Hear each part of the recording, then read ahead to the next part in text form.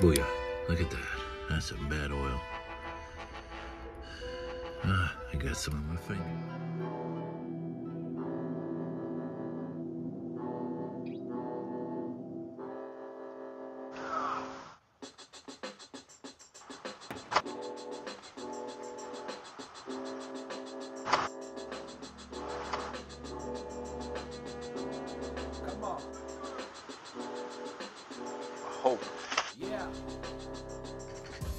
All right, so if you don't have a nice car, your woman ain't gonna love you.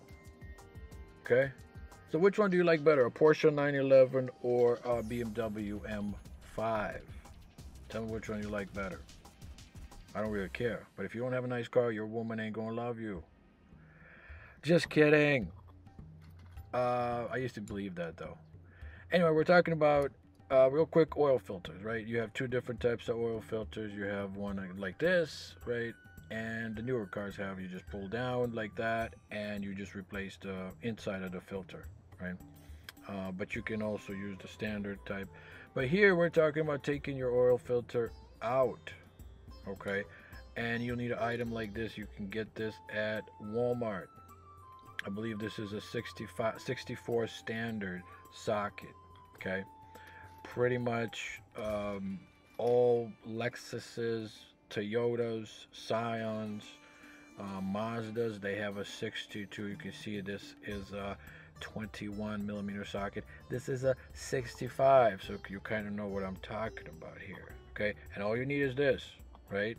Um, and what I do is I got a set up like this. Booyah. And it pops right in like that and boom you're ready to go that's all that's all you need all right Oops. Lefty loosey. Lefty loosey, righty tighty.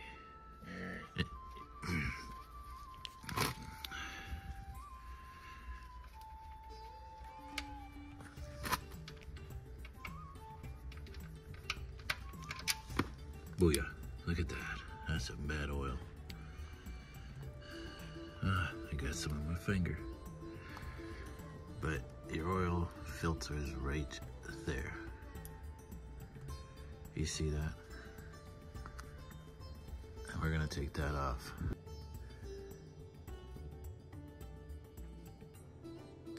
so basically they just pop on like that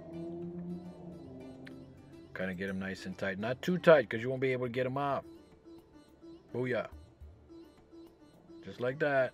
You're ready to go. That's why I said there's two different types of filters. One you literally take the filter out and two you take the filter and replace the filter inside of the oil filter. If you know what I'm saying? Come on. We got a little torque bar here.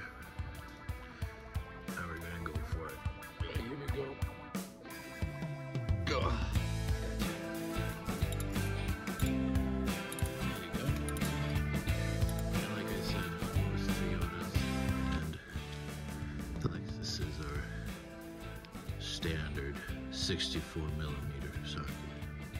Ooh, check this out, man. Look at that. We're eating good today. This is Famous Dave's. Not getting paid by Famous Dave, but man, they make some good, good barbecue. Yeah, Famous Dave's to go. Yum.